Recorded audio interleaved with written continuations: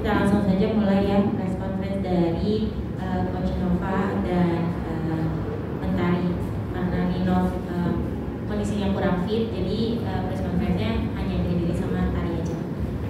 Oke. Uh, selamat siang Coach dan Tari. Uh, bisa diceritakan tadi pertandingannya itu seperti apa dan komentarnya seperti apa untuk uh, dari Coach dan dari Tari sendiri. Silakan. Uh, ya mungkin buat pertandingan tadi dari set pertama dari masuk lapangan dari dari masuk lapangan sebenarnya dari poin 11 sampai at the end di game kedua uh, kami berdua benar-benar juga nggak dikasih kesempatan buat nyerang kita juga udah coba buat cari bola serangan tapi maksudnya uh, nggak bisa dipungkiri tenaga mereka dan kecepatan mereka juga uh, luar biasa bagus hari ini Silakan ditambahkan Coach kalau dari Coach sendiri. Kalau dari saya yang satu mungkin awalnya ya. Awalnya mungkin tadi kita udah ngomong awal dari servis ya. Dan itu sering sering sering sering terjadi. Begitu di servisnya hari ini agak gak enak. Mentari mungkin khususnya mentari ya PD-nya udah kayak kayak nggak nggak yakin gitu.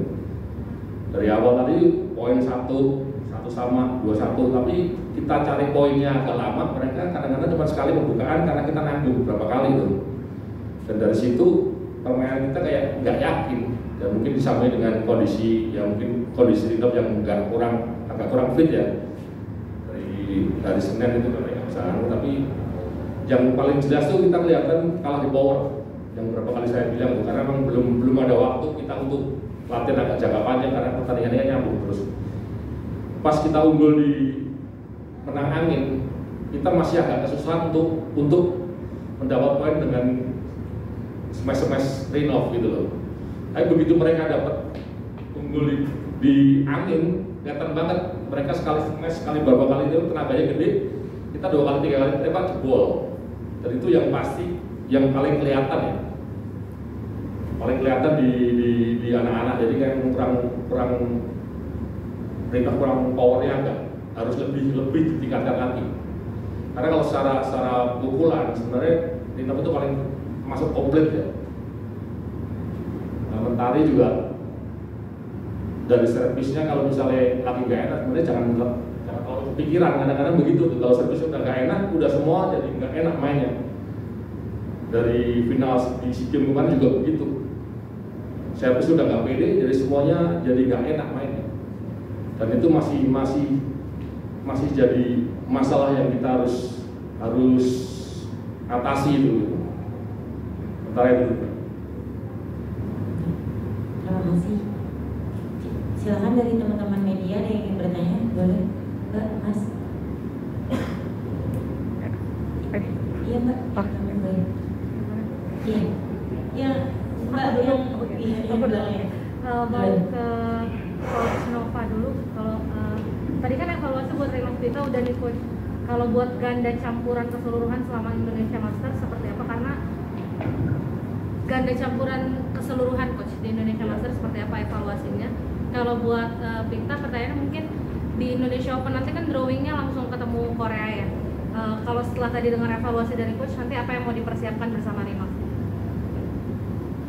ya mungkin kalau pak ini pasangan ya Eh, ganda campuran Ganda semuanya. campuran keseluruhan Coach evaluasinya seperti apa? sebenarnya kalau keseluruhan di ganda di ganda campuran Indonesia Open ya sebenarnya tadi di pool atas sebenarnya kan sekarang yang nggak datang kan cuma minus Juta Watanabe ya yang yang top playernya.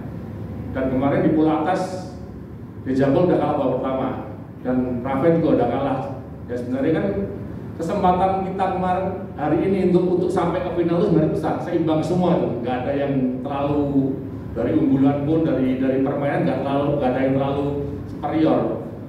Nah memang sayang sih. Cuman ya kadang-kadang begitu jadi kadang-kadang bikin mungkin bikin anak-anak jadi agak wah ini bisa nih bisa nih karena selama ini kan kita baru baru bisa tembus di semifinal ya di super 500 belum 750 dan 1000 belum Nah mudah-mudahan sih ke depannya kita di walaupun memang besok ya lawannya Korea, tapi di, di sisa waktu ini beberapa hari ini kita harus bisa memperbaiki lah kelemahan-kelemahan yang kecil aja.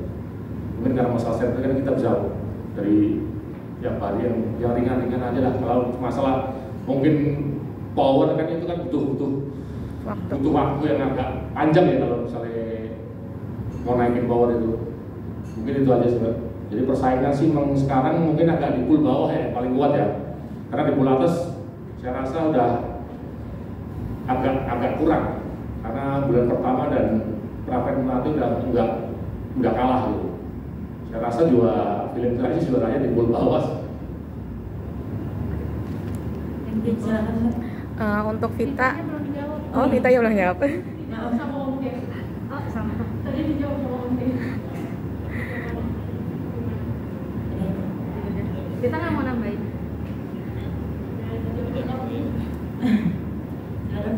Oke, Vita tadi kan eh eh, Vita eh, tadi kan sempat evaluasi sama Kosnova terkait servis sendiri yang kurang pede dan lain-lain. Eh, untuk Vita ya sendiri untuk apa ya? Untuk meningkatkan eh, PD-nya itu ada ada infus sendiri nggak sih?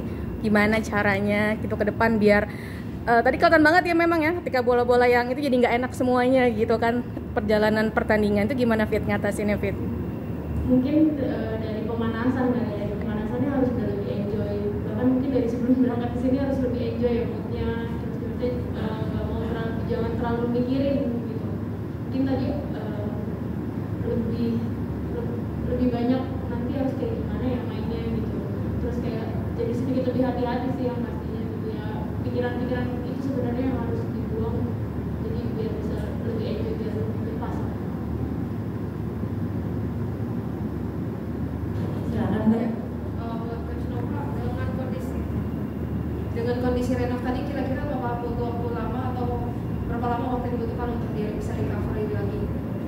Kalau masalah kondisi kita, ya kita saya juga belum belum anu, sebenarnya nggak nggak terlalu nggak terlalu apa namanya nggak terlalu anu cuman agak susah makan aja mau mau terus katanya tadi kan. Agak nggak bisa makan. Cuman saya rasa juga mungkin minum obat atau apa juga mungkin lebih bisa balik lah mudah-mudahan lah. Kalau yang penting ya persiapan memang mepet kan. Karena ini langsung ada. Yang penting mereka yakin aja fokus aja nah, yang mungkin saya tambah lagi mungkin yang mentari itu sebenarnya dari segi dari segi apa ya mungkin teknik teknik servis ya sebenarnya udah gak ada masalah kalau saya lihat. Kadang-kadang di keyakinan dirinya aja. Jadi mungkin bahasanya di start awal tuh start awal servisnya enak itu bisa enak terus. Iya. tapi beberapa kali dari awal servis sudah nyangkut nanggung nah jadi kepikiran tuh. Padahal kita udah bahas lama jadi kita selama selama pertandingan emang nggak nggak usah terlalu bahas servisnya mentari karena kadang-kadang jadi jadi agak lebih takut lagi gitu. Dan itu emang kadang-kadang PR ya karena sebenarnya kan servis itu gampang tapi sangat penting sebenarnya. Kan semua pertandingan apa permainan kan dimulai dari servis dan itu yang harus disadari gitu. Contohnya mungkin agak banyak lagi mungkin Gracia Poli ya. Hmm, ya. sekelas Gracia Poli masih masih mau mencari karena emang kelemahannya kelemahan terbesar dia di situ. Tapi begitu dia bisa mengatasi itu bisa bisa dapat cara cara tidak mati dari servis hasilnya langsung kelihatan. Karena berapa kali kan buang poin juga banyak itu Gracia sebelumnya juga. Tapi begitu dia udah menemukan dan dia juga walaupun main senior tidak malu untuk mencoba. Akhirnya ketemu dengan servis jadul kan. Iya. yang penting tidak mati dulu dan mungkin ya, itu harus ditemukan harus harus berani sih dari petarinya harus ada keyakinan mau apa pun gayanya yang penting tidak bisa bagus Berarti evaluasinya dari sisi psikologis ya Coach? Ya, kalau saya mungkin agak beda ya, mungkin dari segi dari mentali banyak di situnya ya. Jadi kadang-kadang nggak ada begitu servisnya nggak yakin, apa nggak masuk dia ada ada nggak keyakinan dari dari permainan jadi kayak apa aja takut. Yang biasa defend kemarin sama Praven juga tembak juga enak, tadi kayak takut aja bola-bola naik dari agak takut. Kalau Rino sebenarnya nggak terlalu nggak terlalu ada masalah ya di ya. Kadang-kadang emang cuman sering kepancing buru-buru sama yang paling kelihatan kita udah ngomongin powernya harus dinaikin mau nggak mau karena berapa kali kita lihat kalau bola berat kita agak repotnya di situ mereka bisa bisa makin kita gampang tapi kita kadang-kadang memang butuh berapa poin baru bisa mati kelihatan banget di powernya dan kita harus akuin dari kemarin Malaysia sekarang Thailand kita paling tidak kalah di power Baik, ada lagi mbak, mas? Siapa? Sudah tidak ada, cukup.